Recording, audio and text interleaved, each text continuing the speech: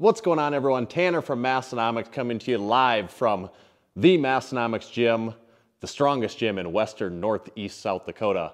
This video, I just want to run through the new equipment that we've got since the last time I did a video when I showed you the new equipment we got. So that one was in June 15th is when that one was published. Right now it's mid end, end of September. So it's kind of like what we've got here new over the last three months. And try to do these about every three months, maybe put out about four of them a year. Uh, we're always getting new stuff, so it's fun to check out what we've got coming in. First thing, well, here I'm leaning on a couple of the things right here.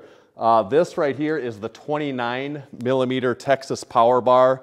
Obviously, Texas Power Bars released these just this year. Uh, this is black zinc. The one we went with is black zinc with the chrome sleeves. You know, it's the 29 millimeter and when we unpacked this one, the first thing I thought and everyone that thought is, man, this knurling is freaking sharp. New out of the box it is just, it is crazy how sharp the knurling really is on, on these when they're new. In contrast, the other new bar we got over that period of time, which so yeah, in the last three months we got a couple new bars. Tommy and I had joked about how many bars we're gonna get in 2023 and I said like three. Well, we've got like 10 new ones so far, but this is a new old bar. Also a Texas Power Bar. Here we've got the newest in their lineup, uh, and this is actually kind of the oldest. This is a first gen, first generation Texas Power Bar that I got used. Uh, had the hookup on this one, was able to get this shipped out to me in South Dakota.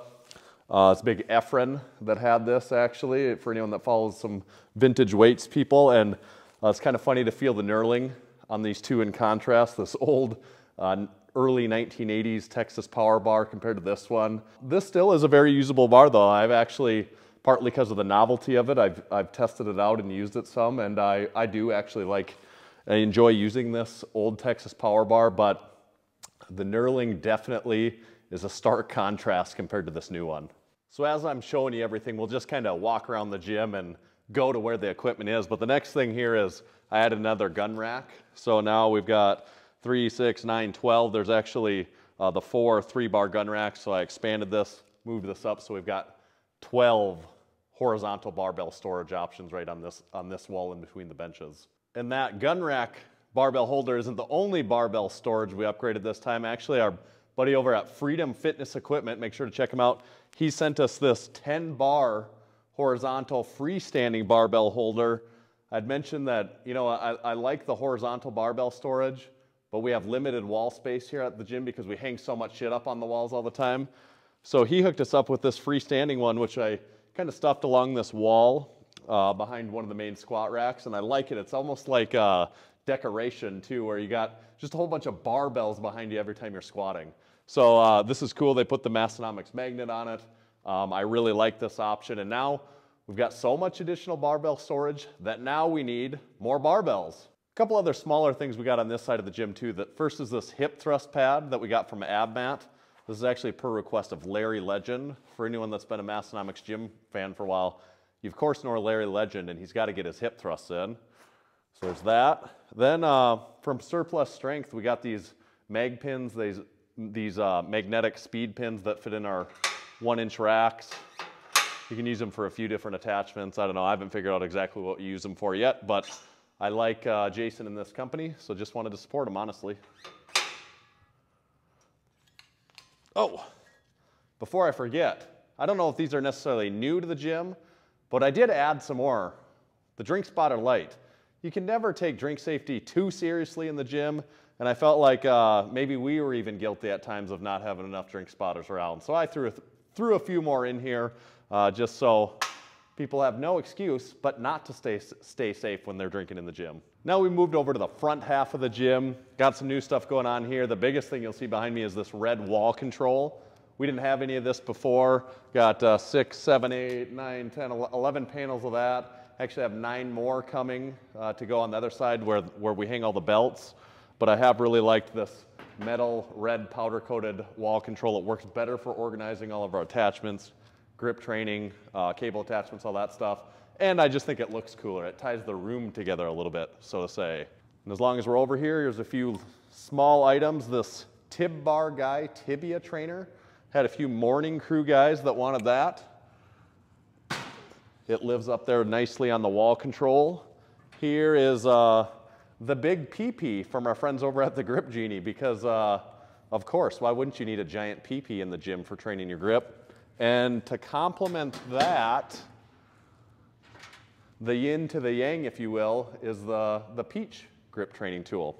Got a lot of chalk on them because they get used. We use our weights around here at Massenomics Gym. They're not just for show. I think that's most of the new stuff there. Let's check out over here.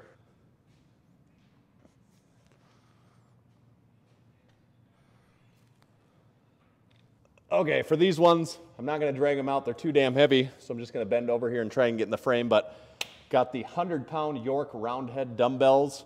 Anyone that's been following along knows that I've been uh, working on filling out this set of uh, vintage York roundhead dumbbells all the way from one up to 100. So we got the big daddies here, the 100 pounders, got those uh, from Minneapolis. Sergeant Anderson took a road trip and picked those up for me. So it's cool down now to just uh, 80 pairs of 80s, 85, 90, and 95, and a single nine. I've got one nine, so I just need, uh, that's nine dumbbells total, and I can completely fill out this set. But the quest goes on. Stay tuned to see if I ever actually finish. Upgraded the stereo. Everyone always wants to know about the stereo in Massenomics Gym. This is actually our old stereo, our old amp, our old receiver. The new one broke we pulled the old one out of retirement, got it fixed up, working better than ever, so we're jamming to tunes like we've never jammed to tunes before in here. And of course, you know we keep these old iPod touches on us at all times. One more thing on weights, when Sergeant Anderson was picking up those 100 pound York roundheads, he also, there was someone nearby that was selling some 25, pairs of 25 milled Yorks. I had him snag, what did we get? One, two, five pairs. I had him snag five pairs of milled 25 Yorks. And not that we necessarily needed them, but I just wanted to fill out these racks a little bit better where all of our older milled Yorks are at. And uh, turned out great. Love them. Can never have too much weight. It's the bread and butter of the gym. Barbells and weights, bread and butter. Don't forget it. Last thing here, th these are pretty cool. I'm excited to open these up. I really haven't even unboxed these yet. I was waiting for this video to open them up. Uh, barbells, plates, bread and butter. Can never have too much of either, even though we probably have too much of both. But these, uh, what these are, a, a pair of LeMasters 45 pound Olympic deep dish plates. These are made out of California and uh, they're pretty cool looking. See if you can see that very well. Definitely don't really need these, just bought the one set of 45s, just wanna add it with our other deep dishes. You know, I've got the Rogue, Arnold deep dishes, so we'll throw those over with those, uh, with those same deep dish plates. And uh, it's kind of cool. You can see the barbell goes there.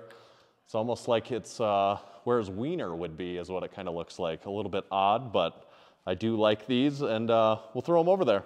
And that is it for this equipment update at Massenomics Gym. We're right here, back where it all started for this video, back to the Texas Power Bar.